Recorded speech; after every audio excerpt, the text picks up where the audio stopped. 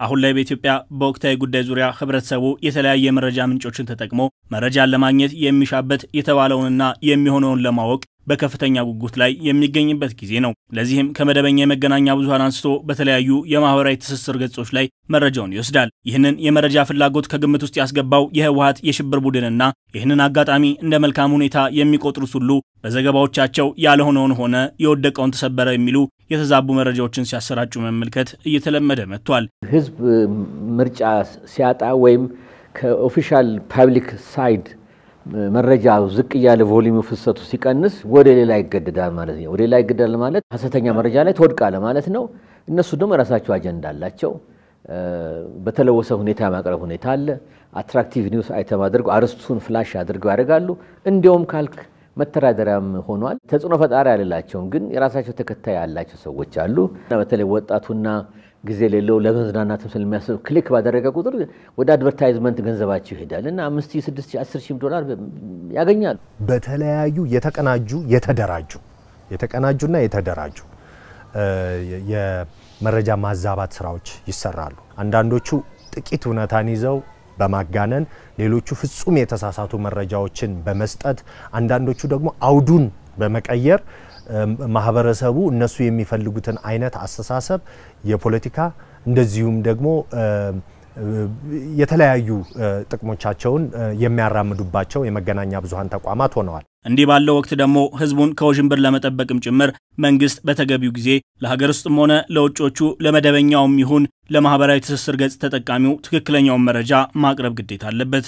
information በተለይ ፍሰቱን በቪዲዮ በ interview መልክ ከዛኛው side የሚመጡትን ውሸቶችና የሰዓቱ መልእክቶችን ደግሞ በንካ ስለ መልክ ሳይሆን professional በሆነ መልክ ውሸትን በውሸት ነው ብሎ ይሄ ተይዟል ሲሉ ይኸው ብሎ ሄዶ ማሳየት።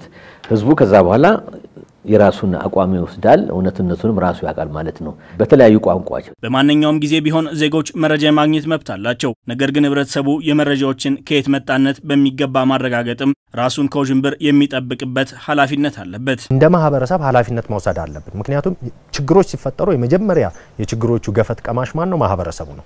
በተቋም ማመን ያስፈልገናል። የመገናኛ ብዙኃን ተቋማት በውስጣቸው የኤዲቶሪያል አሰራር አላቸው። አንድ ዘጋቢ የፈለገውን ነገር አምጥቶ አየር ላይ የሚያውልበት አሰራር አይደለም ያለው። የተጣራ መረጃን የሚያቀርብ የመገናኛ ብዙኃን መሆኑን ትቶ በግለሰብ ማመን ስንጀምር ለአንድ ሰው አስተሳሰብ፣ ለአንድ ሰው ባያዝ የተጋለጠ ማህበረሰብ እንሆናለን ማለት ነው። ስለዚህ መፍትሄውም እጃችን ላይ ነው ያለው። የምንመርጣቸው የመገናኛ ብዙኃን ተቋማት ለእኛ የሚያደርሱት መረጃ የተጣራ መሆኑን ይህንን የምንመረምርበት አሰራር ያስፈልገናል። አሁን አሁን የምዕራቡ የመገናኛ ብዙኃን እውነታውን እያወቁም ቢሆን ከኢትዮጵያ በተቃራኒ የመቆማቸው ሚስጥር ከመንግስት ተገቢውን መረጃ ካለማግኘት ብቻ የመነጨ ሳይሆን ከህወሓት የሽብር ቡድን የጥቅም ተካፋይ በመሆናቸው ጭምር መሆኑን መርሳት አይገባም ሲሉ በአሜሪካ የኖርዝ ካሮላይና ስቴት ዩኒቨርሲቲ የፖለቲካል ሳይንስ መምህሩ ፕሮፌሰር ብሩክ ኃይሉ በሻ ይናገራሉ።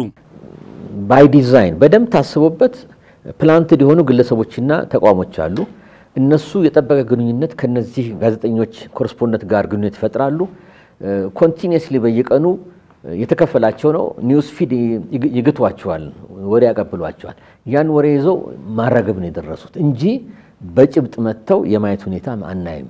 ለምሳሌ crisis እኛ አካባቢ ሲመጣ ቀጥታ ናይሮቢ ቤት ስላላቸው ናይሮቢ ሰው ይላክና ከናይሮቢ ስለ አዲስ አበባ ስለ ኢትዮጵያ ለመዘገብ ይሞክራል። ባላየው ምን ባላለው ነገር በስልክ ብቻ ሪፖርት በማድረግ በተለይም የማህበረሰብ አንቂዎችን ጨምሮ የመገናኛ ብዙኃን የመረጃ ማጥራትን በመስራት ለህብረተሰቡ ትክክለኛውን መረጃ መስጠት ላይ ሊያተኩሩ እንደሚገባም ለመገናኛ ብዙኃን አቅም ግንባታ መስጠት ላይ ትኩረታቸውን ያደረጉት ጋዜጠኛ ሄኖክ ይጠቁማሉ። የምናገኘውን መረጃ በተለይ ከመገናኛ ብዙኃን ተቋማት የሚመጣውንም ጨምሮ ግን ከዛ ውጭ በግለሰቦች የምናገኘውን መረጃ መጀመሪያ መጠርጠር ነው። ከዛ ቀጥሎ ይህንን ሁኔታ መለየት ነው። መለየት ስንል እንደዚህ አይነት መረጃ የሚሰጡን የትኞቹ ናቸው? ስለዚህ ፌስቡክ ወይም ደግሞ ትዊተር ፊዳችን ላይ እነኚህን የመረጃ ምንጮች አለመከተል እንችላለን። ምክንያቱም የምንወስደው መረጃ ማንነታችንን የሚቀርጽ ስለሆነ። ስለዚህ የማህበረሰብ አንቂዎችን የምለው ተደራጅተው ተቋማዊ ቅርጽ ይዘው ለማህበረሰቡ የአንድን ግለሰብ አስተሳሰብ ብቻ ሳይሆን በተቀናጀ መልኩ የማህበረሰብ ለውጥ መሪዎች፣ የ social engineering መሪዎች መሆን ይችላሉ። እዚህም ላይ የመገናኛ ብዙኃን ድርሻ አላቸው፣ የሲቪል ማህበራት ድርሻ አላቸው ብዬ አስባለሁ።